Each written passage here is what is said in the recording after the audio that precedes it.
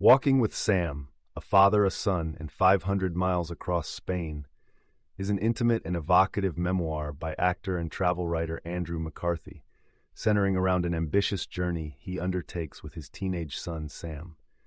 The book chronicles their trek along the Camino de Santiago, a historic pilgrimage route that stretches across northern Spain and culminates at the Cathedral of Santiago de Compostela, where the remains of St. James the Great are said to be buried.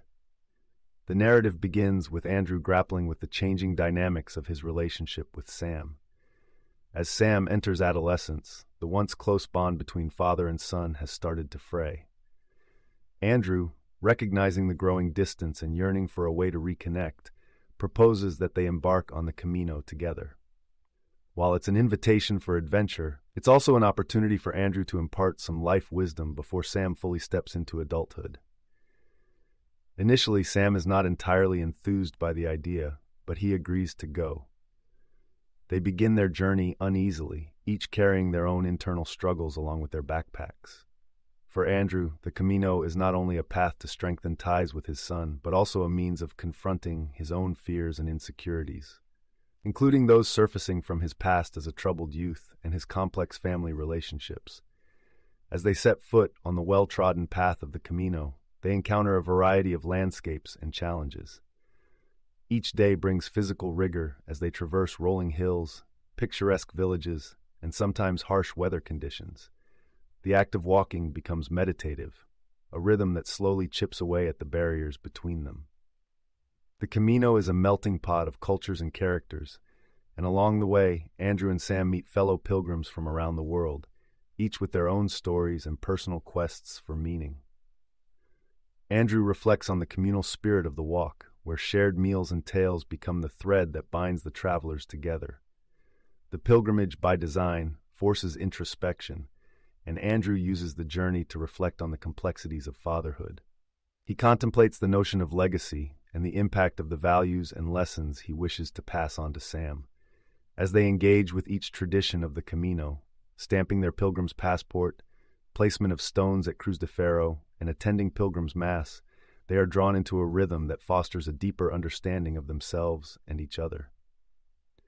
Sam, throughout this shared experience, begins to open up. The physical simplicity of walking and the disconnection from digital devices strip away the distractions of modern life, providing Sam with the space to confront his own questions and thoughts about his future. At times, the journey is arduous and leads to tension.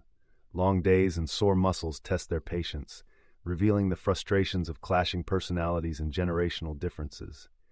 Yet, it's within these moments of conflict that the potential for growth and healing emerges. Andrew learns to listen more profoundly to Sam, absorbing his insights and perspectives, while Sam gains a greater appreciation of his father's experiences and vulnerabilities. As they approach the end of the Camino, both father and son grasp the significance of their shared undertaking. They come to understand that the Camino, with all its emotional and physical demands, is a metaphor for life.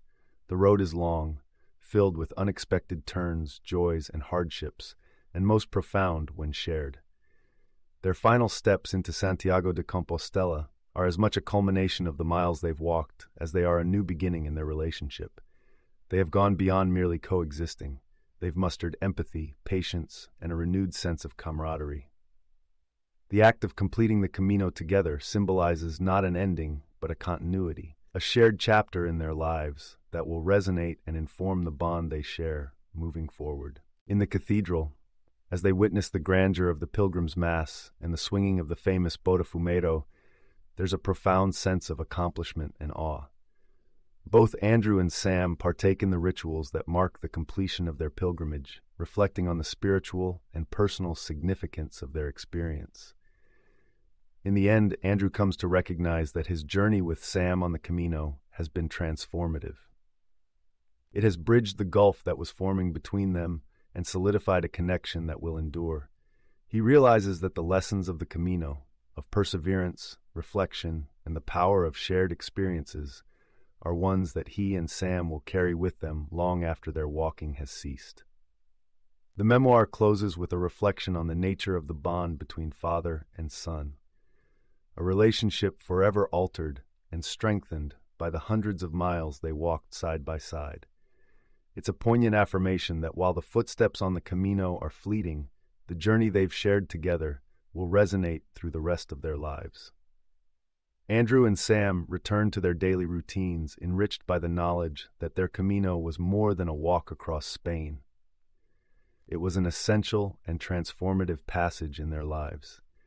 You can listen to the full audiobook for free by following the URL in the description.